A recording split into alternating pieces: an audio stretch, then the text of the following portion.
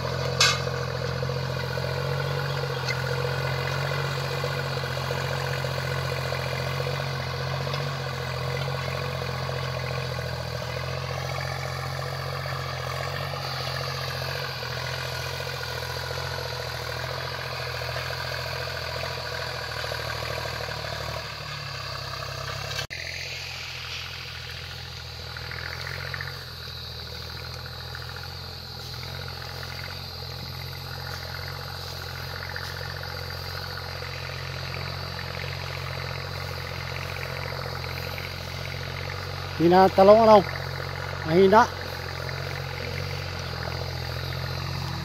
Hoàng anh.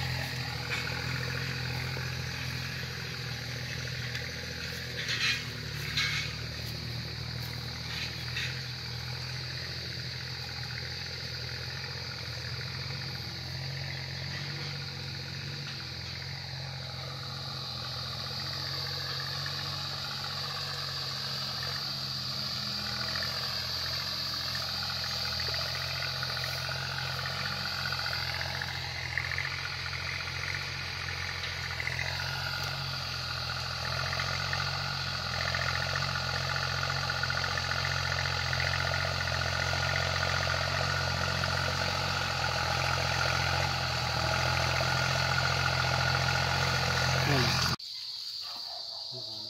嗯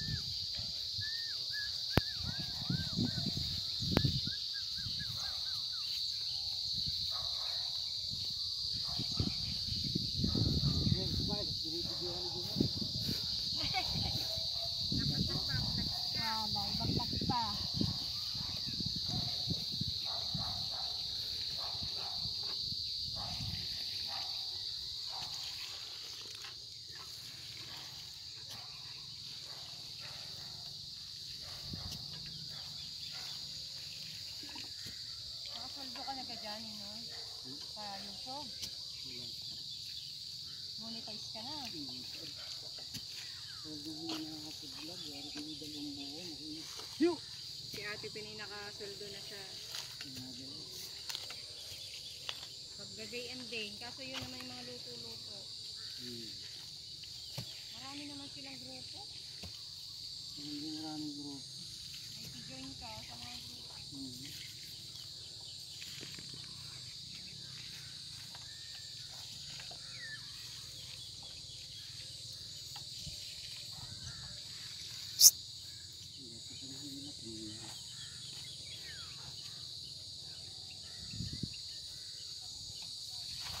Yung bunutin mo mamaya ang apat na yun. ah. Isa, dalawa, tatlo, apat.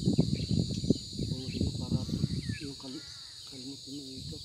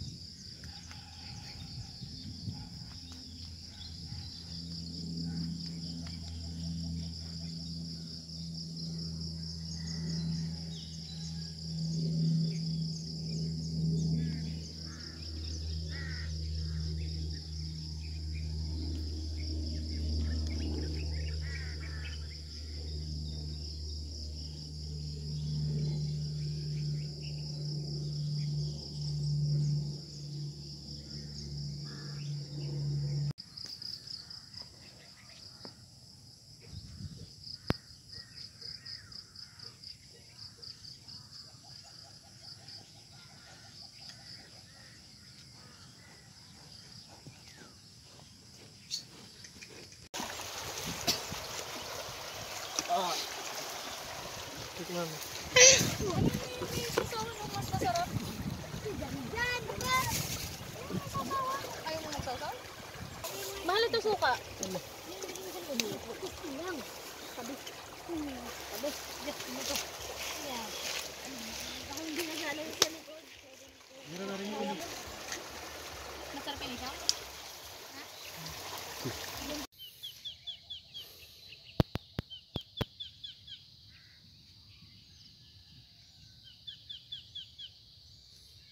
Yan, nagtanim po tayo ng tanim. Pinatraktura natin. Nagtanim tayo ng talong. dito sa karatig nung medyo malalaki na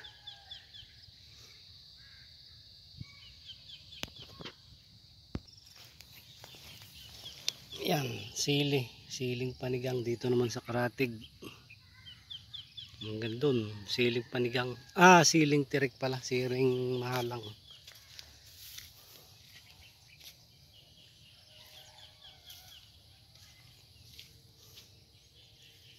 Tapos dito ay kalabasa lahat yan. Kalabasa. Dito. Kalabasa naman yan. Hanggang dito. Puro kalabasa po yung itinanim natin dyan. Yan. Puro kalabasa yan.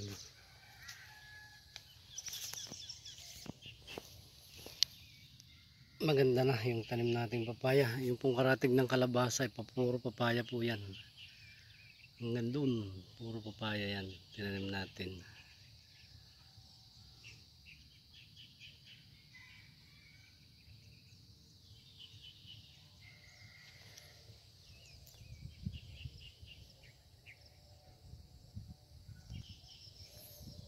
Tapos ito mga kaputol, talong na ulit.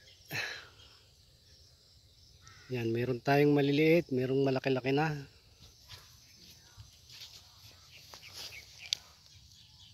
Ayan.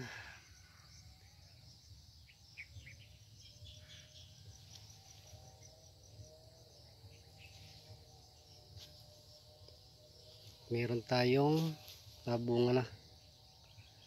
Yan po, namumunga na yan. Hanggang doon sa dulo, sa may kubo. Maganda na, marami ng bulaklak.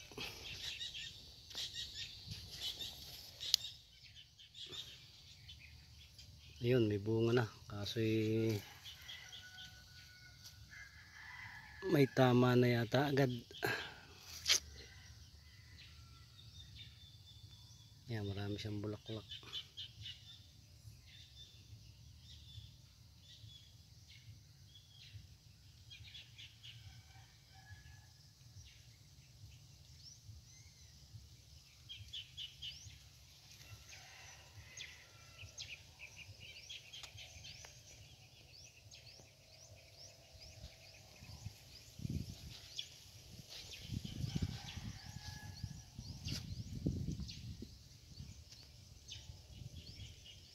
Yung ating sitawan, tinaniman ko na rin yan.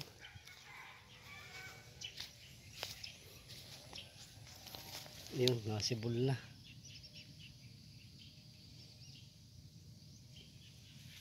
Yan, hanggang po sa dulo. Ito eh, hindi ko pa namamawer. Kabilang yan. Pero ito may tanim na ito. Lugar na ito.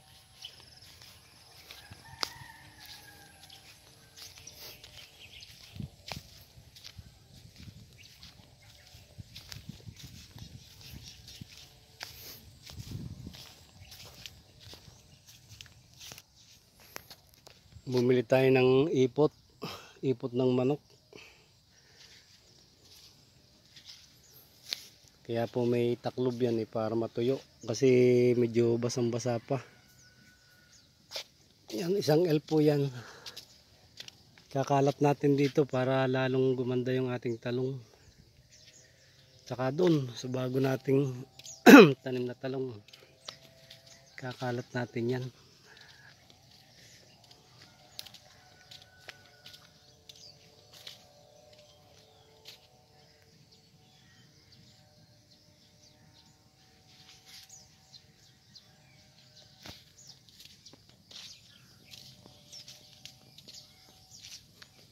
yung dingding ng ating kubo tinanggal ko.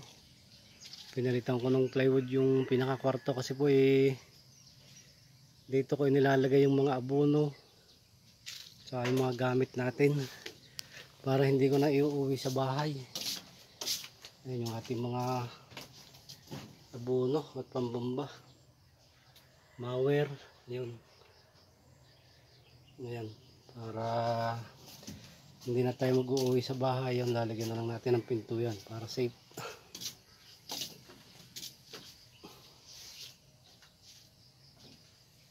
Yan, may kisame rin po yan. Nilagyan din natin ng kisame.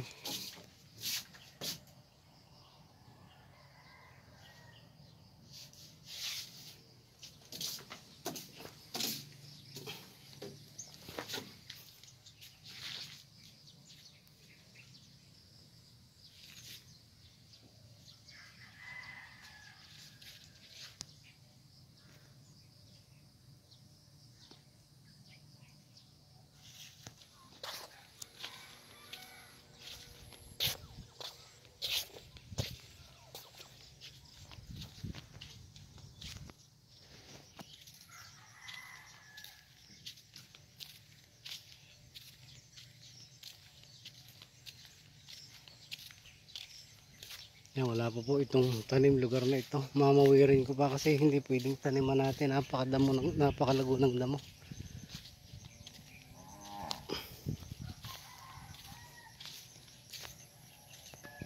Itong dulo, binumba ko yan ng pamatay damo yan. Kita naman ninyo, patay ang damo.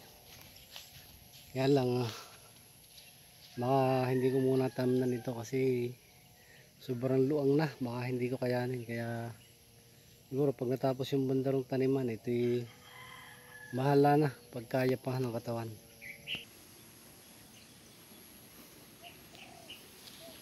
Yung ating tilapia katutuka lang kanina na yan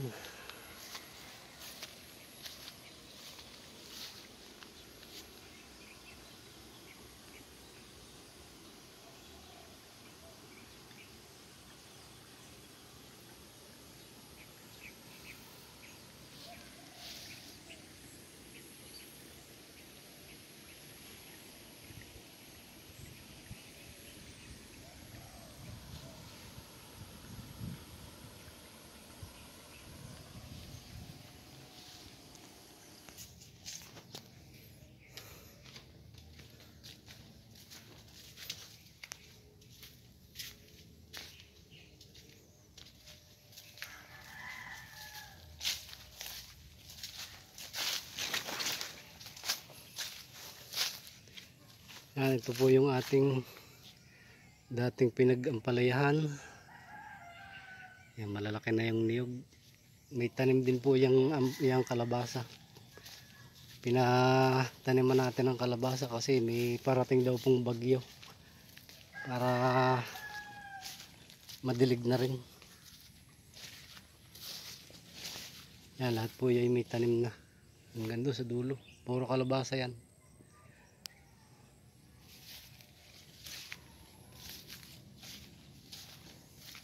yung ating papayang dalawang puno. Ang dami bunga.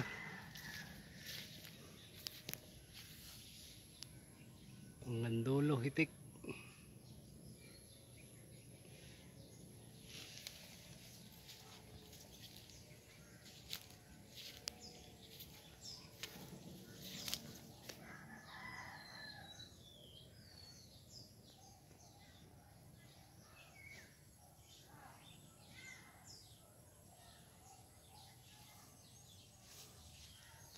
Yan, nilinis ko po isa-isa yung puno ng niyog bago ko pinatanim ng kalabasa. Hindi po tina ng araro kasi yung kalabaw natin eh hindi ko muna ginamit.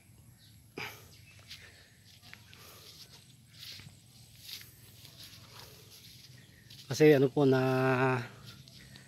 parang kanina yung nangandi na pababahan ko yung ating kalabaw. Shoutout kay Pisang Ubay, Pisan na babahan kanina yung kalabaw. Sana hindi ko nga ginamit ngayon kasi magtutudli nga ako dito eh nababahan baka sayang. Kaya pinapati ko na lang ayan. Hindi ko siya ginamit ngayon. Sana tambay. Sana mabuntis. Para hindi lugi yung ating pag-aalaga lalo ka na. Para hindi ka malugi kasi pagka hindi nangandi eh nahaba yung taon eh hindi tayo tutubo. Kaya ayun salamat naman at nababahan yan. Puro po nilinis ko yung niyog para walang walang kalat